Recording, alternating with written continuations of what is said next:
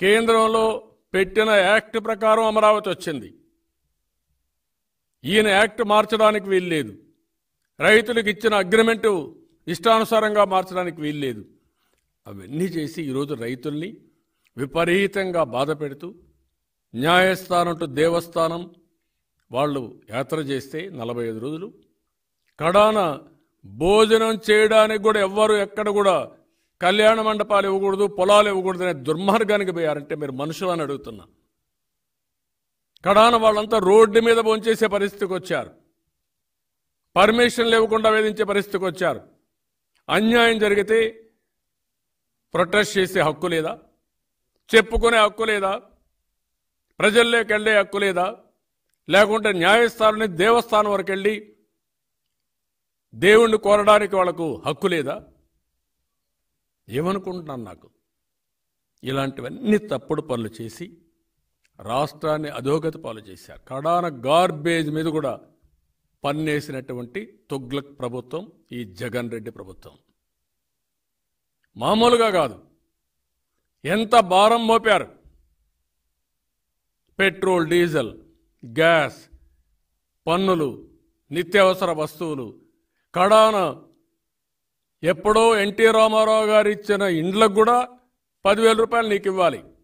Municipalities అయితే పదహైదు వేలు ఇవ్వాలి. కార్పొరేషన్స్ అయితే ఇరవై వేలు ఇవ్వాలి. నీకు పప్పం కట్టాలి. దేనికోసరం? ఏం చేశావు? నువ్వు సైట్ ఇచ్చావా? ఇల్లు కట్టావా? ఆదరించావా?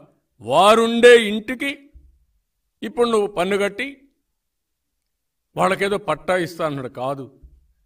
పేదల మెడలో ఉరితాళ్ళు వేస్తున్నావు. ఆ ఉరితాళ్ళే మీకు శాపంగా మారతాయి. భవిష్యత్తులో మీరు చూడబోతున్నారు. నలభై లక్షల మంది పేదవాళ్ళందరూ రోడ్డు పైన పడ్డారు. నిద్ర లేని రాత్రులు గలుపుతున్నారు డబ్బులు లేక కోవిడ్ వల్ల అవస్థపడితే అలాంటి వారందరూ ఈరోజు బలవంతంగా ఎంత ఇన్హ్యూమన్గా పిల్లల కోసం అప్పు చేస్తే ఆ డబ్బులు కూడా మీరు బలవంతంగా జమ చేసుకుంటారా మీరు బెదిరించి? మళ్ళీ వాళ్ళని బెదిరించి కాదు మేమే ఇచ్చామని చెప్పిస్తారా మీరు? ఎన్ని రోజులు జరుగుతుంది ఈ రౌడీయిజం? ఎన్ని రోజులు మీరు ఇస్తారు ఈ దాష్టికం? ఏమనుకుంటున్నారు మీరు?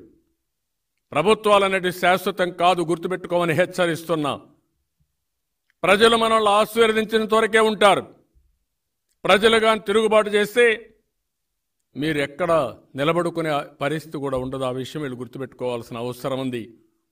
ఇంకో పక్కన మూడు లక్షల పద్నాలుగు వేల కోట్ల రూపాయలు తెలుగుదేశం పార్టీ అధికారంలో ఉన్న చివరి రోజుకి మూడు లక్షల పద్నాలుగు వేల కోట్ల రూపాయల అప్పులు అన్ని రకాల అప్పులు. ఇది అరవై అరవై సంవత్సరాలు. అంటే మొత్తం మనకు స్వాతంత్రం వచ్చి ఆంధ్రప్రదేశ్ రాష్ట్రం ఏర్పడినప్పటి నుంచి వచ్చినటువంటి అప్పులన్నీ కలిపి మూడు లక్షల నలభై వేలు పద్నాలుగు వేలు ఉంటే ఈరోజు మీరు ఏడు లక్షల కోట్ల రూపాయల అప్పులు చేసేశారు. రెండున్నర సంవత్సరాలు. కడాన అప్పులు చెప్పలేకపోతున్నారు. ఎక్కడికక్కడ చేస్తున్నారు. ప్రభుత్వ ఆస్తులు అమ్ముతున్నారు. కలెక్టరేట్ తాకట్టు పెడుతున్నారు. ఎంత దుర్మార్గం అండి ఇది. కడాన మేమందరికి ఉచితంగా ఆరోగ్యం ఇస్తామని హాస్పిటల్లో పేషెంట్లకు భోజనం పెట్టలేదు మందులు లేవు. చిన్న పిల్లలకు పౌష్టికాహారానికి నిధులు ఇవ్వకుండా కాంట్రాక్ట్స్ ఎన్నికి వెళ్ళిపోయారు మధ్యాహ్న భోజనం కూడా ఇవ్వలేని పరిస్థితికి వచ్చారు. ఎక్కడ చూసినా అప్పులు పెట్టేసి సమస్యలన్నీ కూడా పెంచేసి మీ ఇష్టంగా చేసి ఈరోజు మీరు చూస్తూ ఉంటే రీనోటిఫికేషన్ ఇవ్వాలి నిరుద్యోగులు. ఇది జాబ్లెస్ క్యాలెండర్ అని వాళ్ళు ఒక పక్కన. తడిసిన జ్ఞా ధాన్యం. ఈరోజే మనం చూస్తే వెయ్యి రూపాయలు వస్తూ ఉంది క్వింటాలకి. వరిధాన్యం కొనే నాదుడు లేడు. రైతులంతా కూడా పంట వేయడం మానేశారు. మేము పంట వేయం వేస్తే లాభం లేదనే పరిస్థితికి వచ్చేశారు. వరిధాన్యం వేసిన ప్రతి ఒక్క రైతు నష్టపోతున్నారు. కౌలు రైతులు ఎవరు ముందుకు రావడంలో? అలాంటి దౌర్భాగ్యమైన పరిస్థితి ఒక్క రైతు ఇదే కాదు. ఒకప్పుడు అరటి లేకుంటే ఆరెంజెస్ చీని ఇవన్నీ చాలా లాభం వచ్చేటన్నీ కూడా ఈరోజు దెబ్బతినే పరిస్థితికి వచ్చాయి.